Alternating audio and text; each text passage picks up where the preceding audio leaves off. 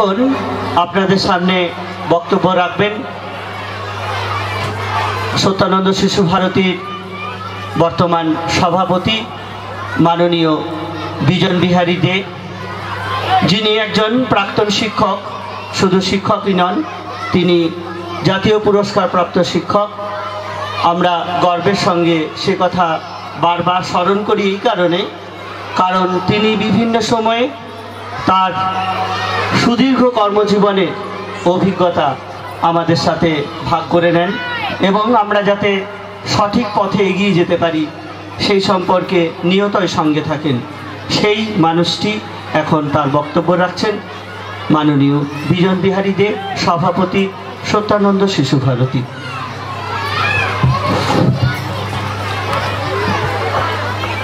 মঞ্চে উপবিষ্ট আজকে অনুষ্ঠানের সভাপতি শ্রী পূর্ণচন্দ্র গড়াই মহাশয়, আমাদের প্রাক্তন পৌরপতি, আমাদের দুবরাজপুর শহরের উপকার এবং আমাদের ঘরের ছেলে শ্রী পীঠুষ পাণ্ডে মহাশয় হাতম্বুর কৃষ্ণচন্দ্র কলেজের অধ্যক্ষ শ্রী গৌতম চ্যাটার্জি মহাশয়, আমাদের কোষাধ্যক্ষ কিশোর আগরওয়াল এবং হেতমপুর কৃষ্ণচন্দ্র কলেজের অধ্যাপক, রসায়ন বিভাগ অধ্যাপক মহাশয়, আর তার সঙ্গে রয়েছে আমাদের বিডিও অনিরুদ্ধ বাবু আমাদের ডাক্তার মিশ্র, নগর সমিতির সম্পাদক ও স্কুল কমিটির সম্পাদক, আফতাব স্যার আমাদের সঙ্গে রয়েছেন নাগরিক সমিতির প্রাক্তন সভাপতি শ্রী বিজন চক্রবর্তী মহাশয় এবং রয়েছে নাগরিক সমিতির সমস্ত সদস্য সদস্যবৃন্দ।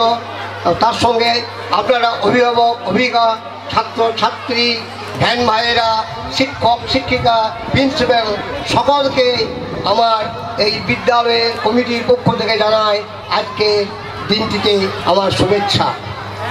আমি এই বিদ্যালয় যে পঁচিশ বছরে পদার্পণ করেছে, এর জন্য সত্যি আনন্দ উপভোগ করছি। এই ধরনের একটা অনু- অনুষ্ঠান করার জন্য আমি বহুদিন থেকে চেষ্টা করেছিলাম, বলেছিলাম যে বিদ্যালয়ের পঁচিশ বছর পূর্তি খুব নরমভাবে করা যাবে না।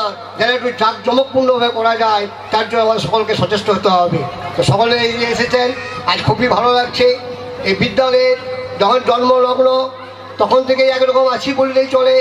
কারণ নাগরিক সমিতি যখন সৃষ্টি হয়, তখন আমাদের বৃত্তি পরীক্ষা, এই যে বেসরকারি পরীক্ষা, সেই পরীক্ষায় আমি ছিলাম এই দুবাইপুর পৌর কমিটির সম্পাদক। অনেক ভীতি ছিল। সরকার বিরোধী কাজ ইংরেজি পড়ানো যাবে না। পরীক্ষায় পাস ফেল কথা বন্ধ। পরীক্ষা নাই, তবুও আমি সাহস করে কোনো টিচার শ্রেণি আসেনি, কিন্তু আমি নিলাম দায়িত্ব চণ্ডীদার কথায়। চণ্ডীদা বলল, আপনাকেই নিতে হবে দায়িত্ব। তাই সেদিন আমি এই পরীক্ষা কমিটির সম্পাদক হয়েছিলাম।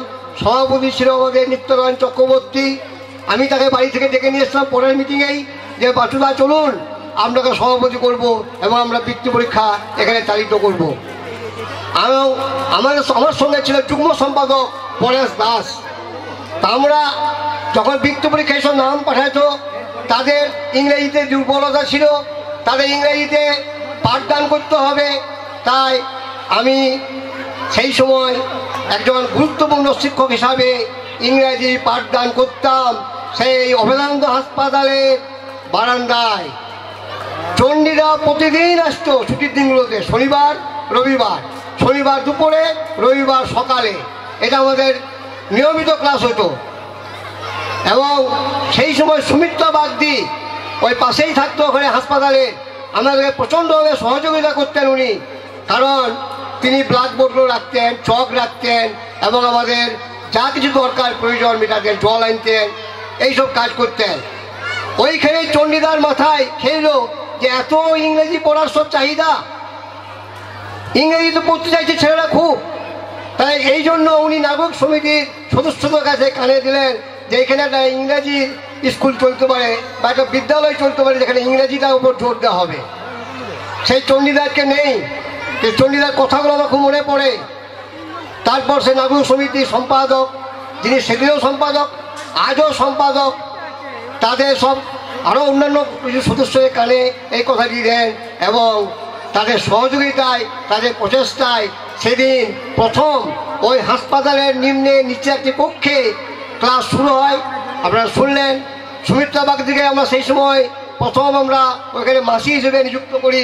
তার ওই যে কাজে যে তার নিজে নিয়োজিত ছিলেন, সেই জন্যই আমরা তাকে একটা পুরস্কার দিই যে আপনিই করুন এখানে কাজটা। উনি সেদিন মাসির কাজে নিয়োজিত হয়েছিলেন এইভাবে আমরা স্কুল পেলাম। স্কুল চলতে লাগল। কিন্তু বিল্ডিংয়ের দরকার।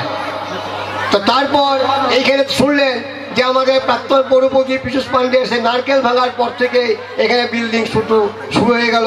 বেশ কিছু দূর পর শহরের লোক সহযোগিতা করে এই বিল্ডিংয়ের ব্যবস্থা করে গেছে।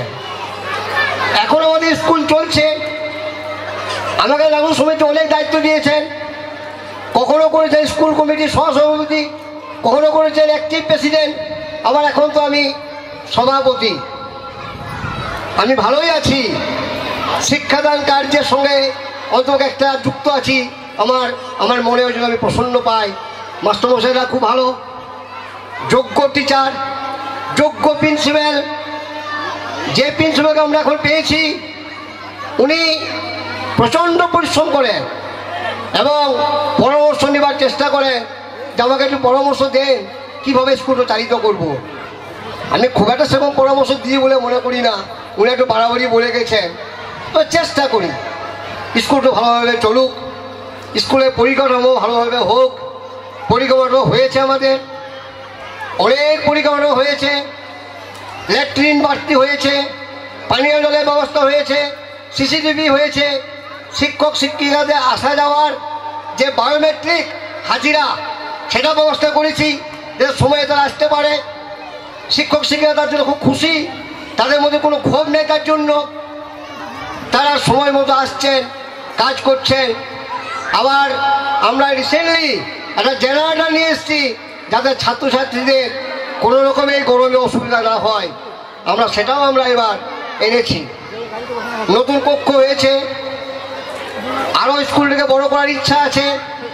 সেটা সবই সম্ভব হচ্ছে কিন্তু আপনাদের সহযোগিতায়, অভিভাবক, অভিভাবকদের সহযোগিতায়, আপনাদের ভালোবাসায়, আপনাদের শুভেচ্ছায়, আপনারা যদি পাশে থাকেন, আমরা এটাকে ফাইভ সিক্স সেভেন এইট আরও এগিয়ে নিয়ে যেতে পারব। এখন এ বিশ্বাস, এ আশা, আপনাদের আশাতেই আমাদের আশা। আপনাদের আকাঙ্ক্ষাই আমাদের আকাঙ্ক্ষা। আপনারা এগিয়ে আসুন। যাতে আমরা বিদ্যালয়টিকে আরও আরও প্রযুক্তিগত দিক দিয়ে এবং গুণের দিক দিয়ে আমরা আরও আরও অনেক উন্নততর করতে পারি, এই চেষ্টায় রইলাম। আপনাদের সকলকে আবার শুভেচ্ছা জানিয়ে আপনাদের পরামর্শ চেয়ে আহ্বান করে ব্যাপারে আমরা পরামর্শ দিই। এই বলে আমি আমার সংক্ষিপ্ত বক্তব্য শেষ করলাম। নমস্কার। অনেক অনেক ধন্যবাদ। আমাদের আর দুজনের বক্তব্য আমরা শুনব।